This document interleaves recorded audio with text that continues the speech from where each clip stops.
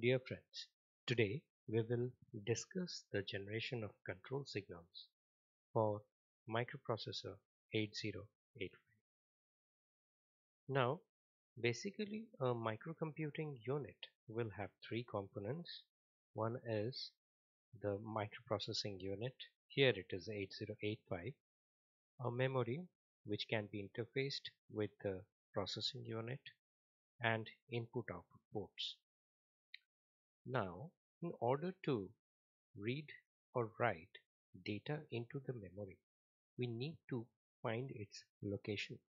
For that, we need address bus and to transport the data from memory to the processing unit and vice versa, we need data bus. Now, the data bus has to be compatible with the microprocessor that is being used and the input output port.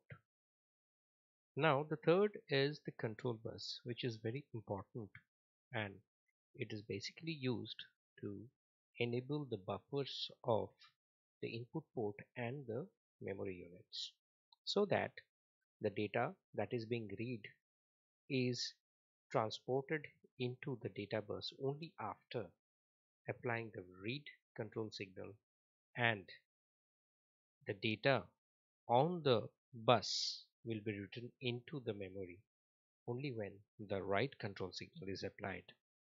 The same thing applies to the input output port also. To get the port address we need address bus. To get the data from the input port to the processing unit or vice versa we require data bus and again to control the movement we require control bus. So basically a system bus of MPU consists of address bus, data bus and control bus. To summarize, the control bus is used to send the necessary signals to the I.O. or memory during the read and the write operation. And the separate control signals are required for I.O. and memory. Now let us see how we can generate the memory read signal. To generate memory read signal, we need three terminals of 8085. One is IO M bar, read bar and write bar.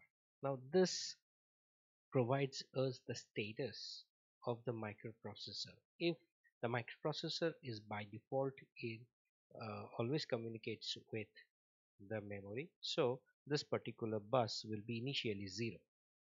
The next is the read and the write.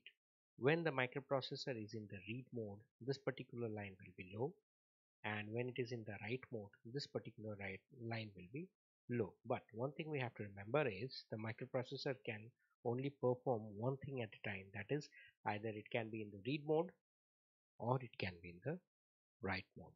So what we can see here is there is no distinction between memory read or IO read write signals. Though we have to connect memory and IO separately, we need to generate two pairs of signals, one for memory write operation and read operation and another for IO write and IO read operation. Now let us first try and understand how the memory read signal can be generated. So what we can see here is we have two bubbled NAND gates.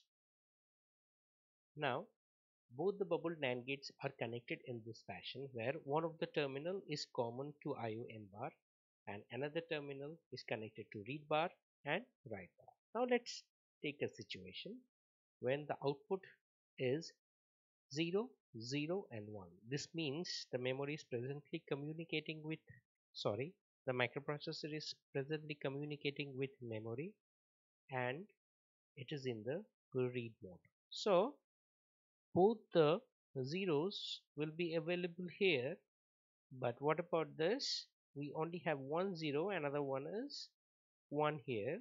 So both the zeros when enter the NAND gate it will be 1 1 and the output will be low. We all know this is the only situation when the output of the NAND gate goes low. So what we will get is a low at the output and this particular signal will be called as memory read. Now what about memory write? Similarly we will have the same circuit and when it is in the write mode this particular output will be low read will be disabled and write is enabled by applying a zero signal here. And we can see the input of this NAND gate is 0 1 hence the output will be disabled. But what about this? It is having 0 0 in it.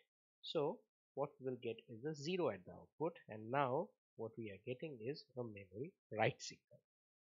Now let us move on. How can we generate IO read signal? Again we will have the same circuit will have the same configuration at the below also but this unit and this unit will be separated by a NOT gate. Now let's see how IO read is generated. Now when the microprocessor is communicating with IO, this particular terminal will be 1 and this will be 0 and this will be 1. So presently microprocessor is communicating with IO. So this particular terminal which is 1 will be inverted here and we will get uh, 0 here but when this particular terminal is 1 this two NAND gates are disabled. Now when this is inverted this particular input of the NAND gate is 0 and this particular input of the NAND gate is 0 and this is 0 and this is 1 meaning this one will be generating a low output and which is nothing but IO read. What about the next one? Similar circuit but only the signal that changes is this. So again the upper section will be disabled but in the lower section this particular NAND gate is having both the inputs 0 and it will generate a 0 at the output and we will get a IO write signal. So in this particular section we have understood that to control the memory and the IO separately we need pair of signals for memory as well as pair of signals from for IO and to control the memory we have MEMR which is nothing but memory read we have MEMW which is nothing but memory write and we have IOR which is input output read and input output write signal. Hope you have enjoyed this lecture. Thank you very much.